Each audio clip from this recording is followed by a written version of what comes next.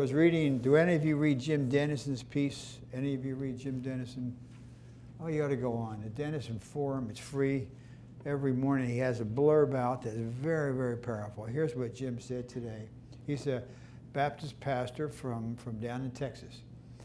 He said, I believe God wants us to see the problems of our day as our responsibility since we are the salt and light in a decaying, dark world. He said, It's our job to take the transforming light of Christ to those who need it most. And then Jim went on to say, Help hurting people to show them God's love. And remember, the darker the room, the more powerful the light. So I would ask you to just think what I'm going to say tonight. How or where will, will you, uh, if you're touched, uh, serve? Many of you know the words of the song, The Boxer, that Simon and Garfunkel sang in Central Park. It says, Man hears what he wants to hear and disregards the rest. And there are the cries, the cries of the persecuted that we in the West and we in the church are refusing to hear. The Bible has much to say about persecution, oppression, and ultimately freedom. In Luke 4 18, 19, Jesus is reading from Isaiah at the synagogue in Nazareth and says, The Spirit of the Lord is on me because he has anointed me to preach good news to the poor.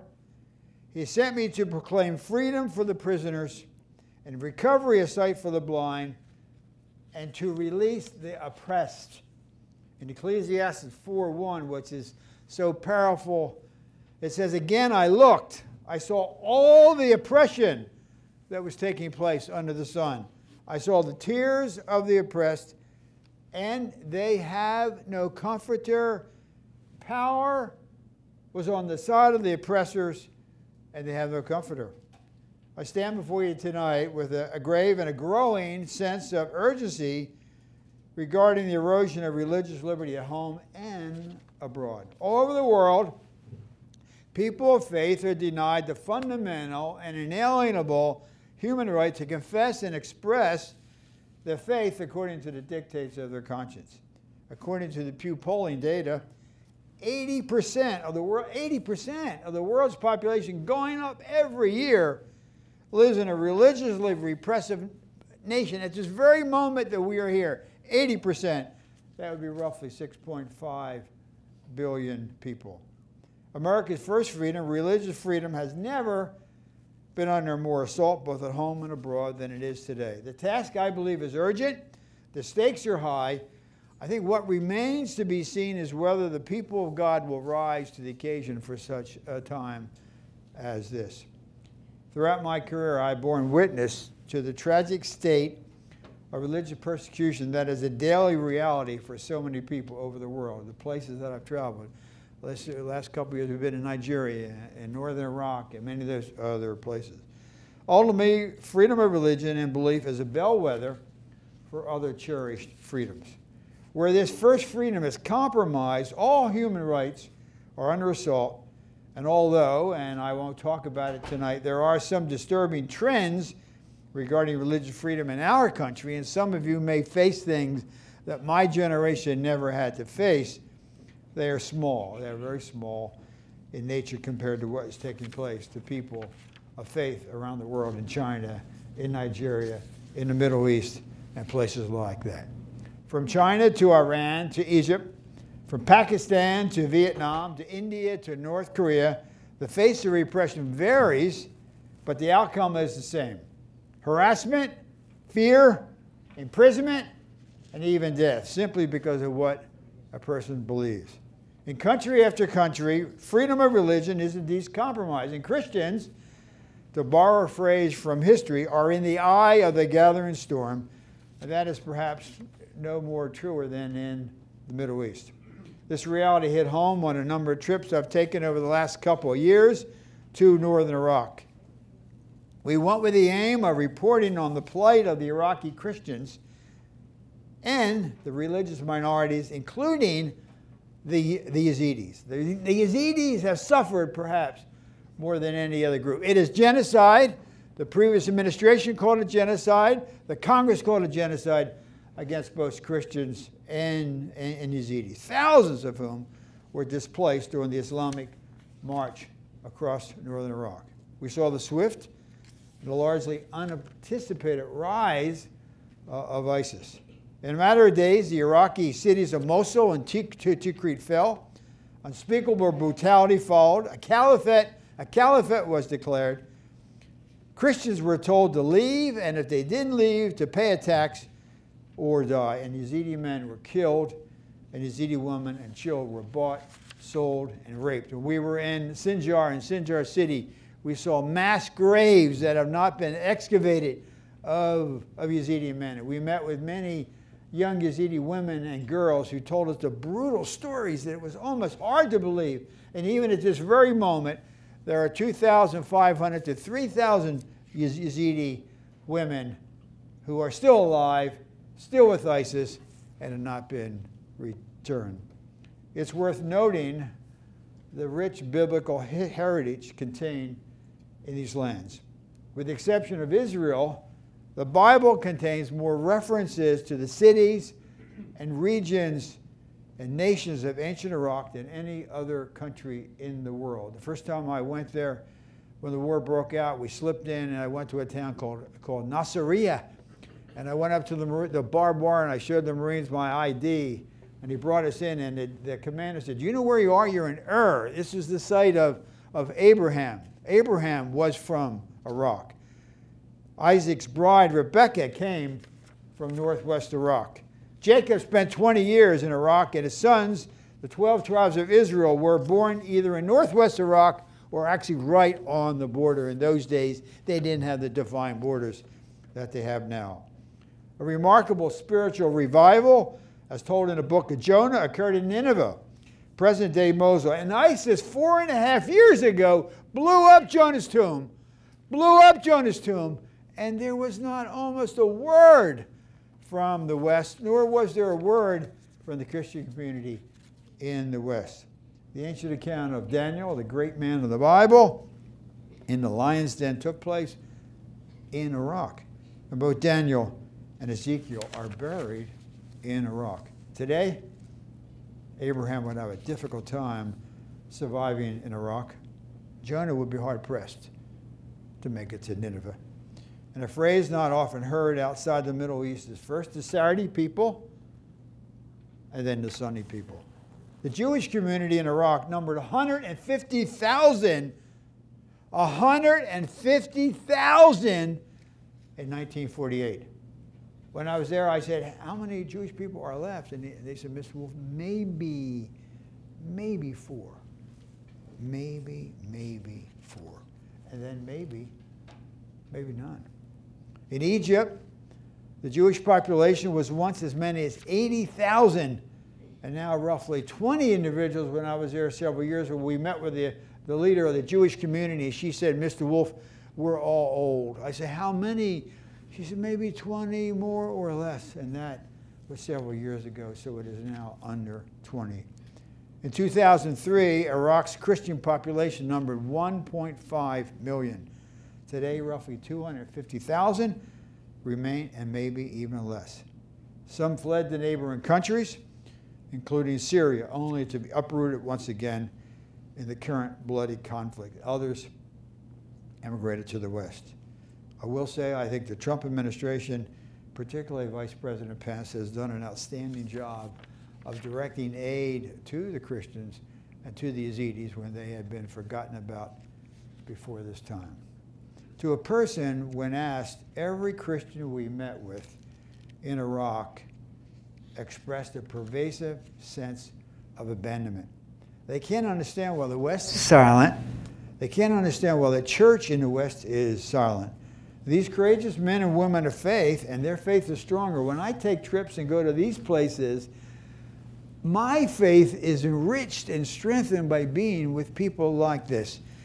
These courageous men and women can't understand why the burning of churches, forced conversions, the emergence of a caliphate in the cradle of Christendom was not being met with urgency and action by fellow believers in, in the West.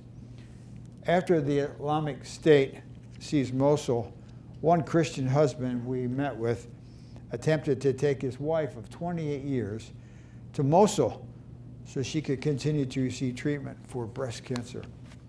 When they arrived at the hospital in Mosul, they were met by an ISIS guard who refused to allow them entrance because they were Christian. They were told that the price for entrance and medical treatment was conversion to Islam. The wife refused.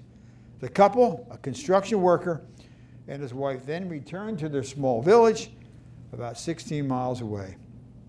Ten days later, we found that she passed away with her husband and two of her sons with her.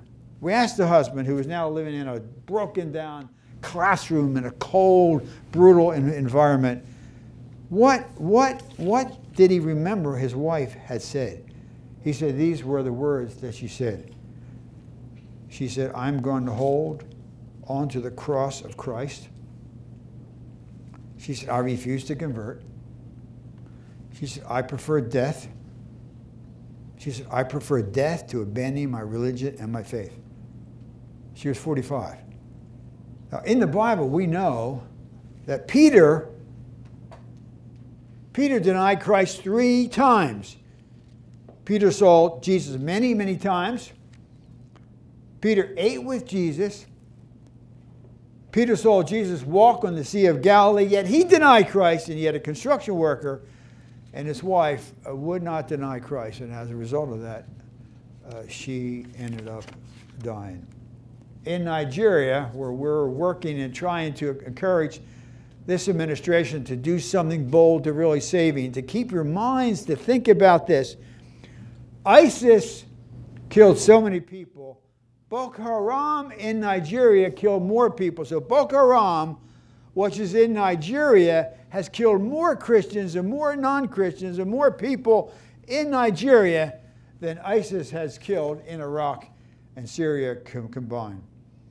In April 2014, Boko Haram garnered the worldwide attention for kidnapping 276 Christian girls, the Chibok girls. I met with uh, some of the parents. I won't tell you what they're telling the parents. We brought one of the mothers over uh, last, last year. And the mother said, We were so excited because if you remember hashtag bring back the girls, does anybody remember that? Hashtag bring back the girls. All the world leaders did hashtag bring back the world. And the mother said, We were so, we were so excited to see that because the world really, really, really cared. 45% of the girls have not come back. This past April, which was five years, no one, no world leader, no religious leader, no one did hashtag bring back the girls. The girls have been forgotten. Five years later, more than 100 girls are still missing and all but forgotten. And in a more recent event, I urge you to go online and look at it, Leah Sharibu was among a group of girls kidnapped by Boko Haram two years ago. Boko Haram released all the girls who professed to embrace Islam. Leah, age 14, Leah, age 14, refused to renounce her faith and is now held as a slave by Boko Haram. Here's a 14 year old girl who offered to be released from one of the most dangerous, second dangerous terrorist groups in the world, refuses to deny her faith and still is a Catholic. Go online, Leah, Leah Sharibu, Nigeria. And there was almost no, you never see it in the Western media. And I haven't seen any Christian leaders in the West mention it. We had her mother over uh, three three months ago, and 14, now 16. In China, we see religious persecution of every faith Christians, Catholics. Congressman Chris Smith took Holy Communion from Bishop Su, who's never been seen since. Protestants, taking down crosses, arresting Protestant pastors, Muslim, Falun Gong, and we see what's taking place in Hong Kong. It's the worst in China that has ever been since Mao's days. Every church, Catholic, Protestant, pastors, just destroyed.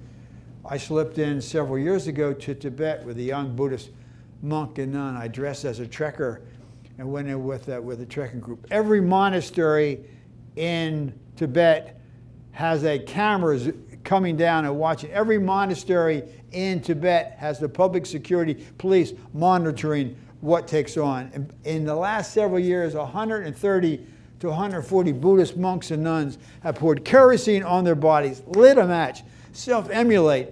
One just did it two or three days ago to protest, and the world almost says nothing. Three million, this is hard to believe, three million Uyghurs, Muslims, are now in, in, in detention camps modeled after Mao and after the Nazis. I would ask you to go, go on ABC, Uyghurs, and look at the pictures show Uyghurs coming off of trains, and I'm going to show you a movie here, coming off of trains, handcuffed like this, blind, blindfolded. We meet with the Uyghur families, and I'll tell you what's going on. This friend of mine, Rebiya Kadeer, who, who is a Uyghur grandmother, 33 of her grandchildren are in these detention camps. And up until about two or three weeks ago, the world said almost, almost nothing. The Falun Gong are facing severe persecution. They are now, if you look at the Freedom House studies, they're now going in and arresting the Falun Gong and taking their blood type. And then for sixty to seventy-five thousand dollars, a Westerner can go to China, stay in a three-star ho hotel. They take your blood type and they match it, and in a few days you get a new kidney. You get a new kidney because they're killing the Falun Gong and they're using their kidneys. There's, if you go online and see two weeks ago, there was a daughter who found her father in a freezer, still alive. They did it because the sooner the organ is donated and transplanted, the greater it takes, and yet the world has been relatively silent. We have on college campuses. You have, there are several in the state of Virginia. Do you all know about the Confucius Institutes? Do you know what they are? They won't allow a Catholic priest to come in. They won't allow a Protestant pastor from China to come in. They won't allow the Dalai Lama to come in. They won't allow the Falun Gong to come in. They won't allow a Uyghur mother or father to, to come in. And yet they're on college campuses, even here in the state of Virginia. And if you look at it, go on Google and look at it. Director Wray of the FBI said they're spying operations and they're spying on the Chinese students who come here.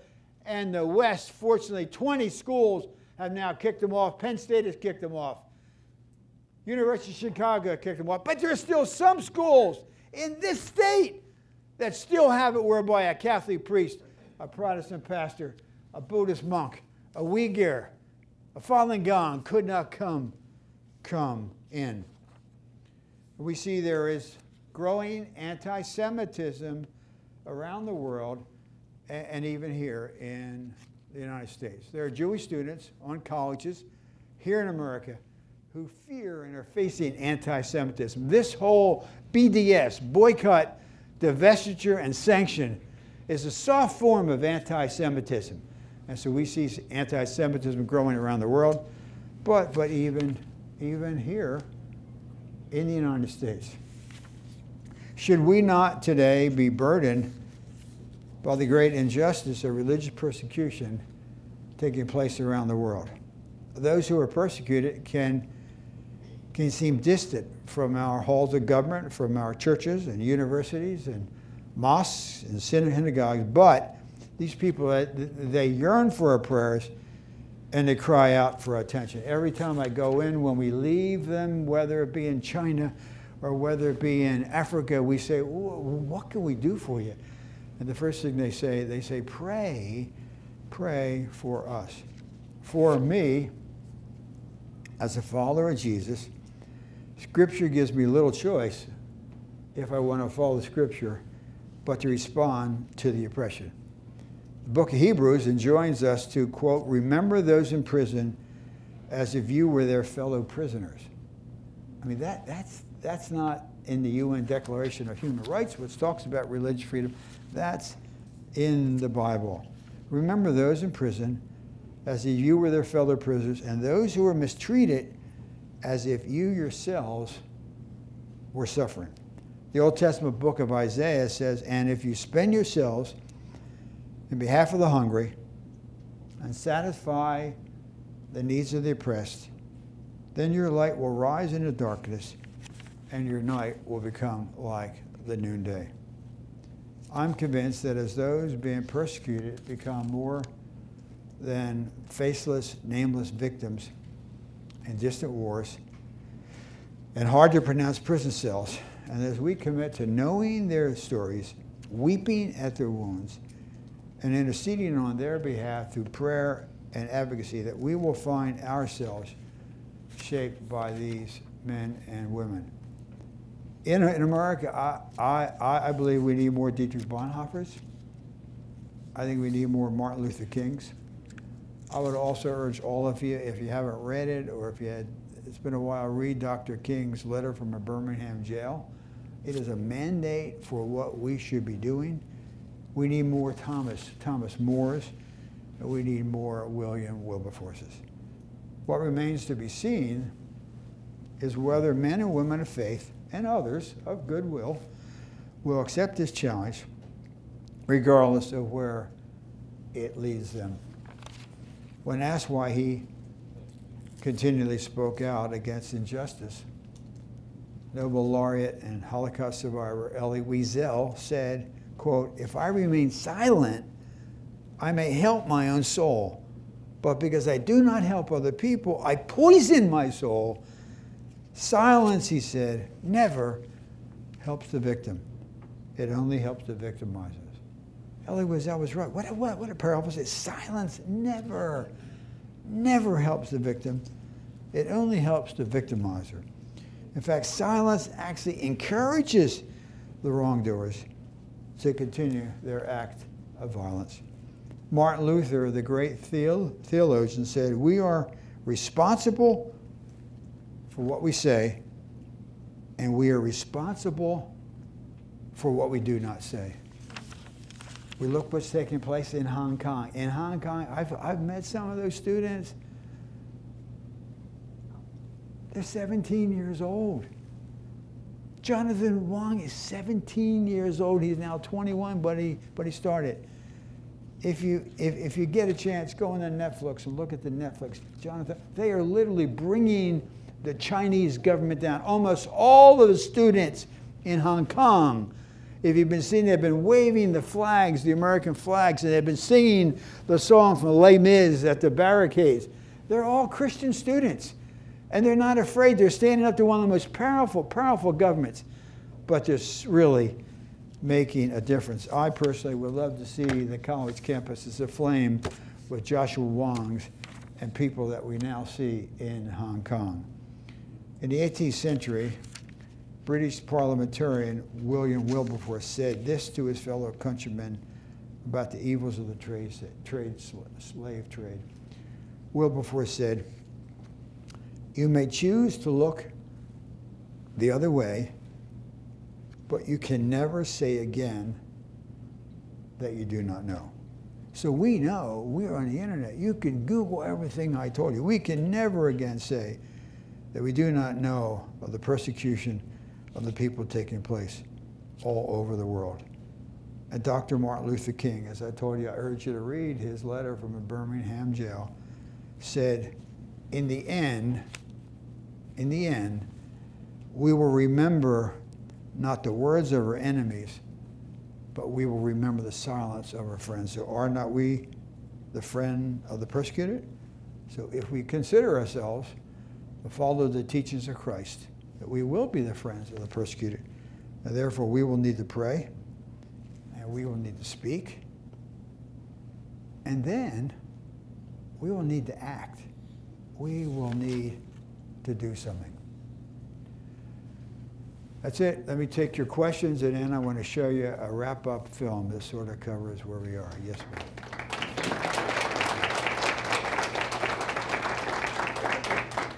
Did I see a hand back there? Yes, ma'am.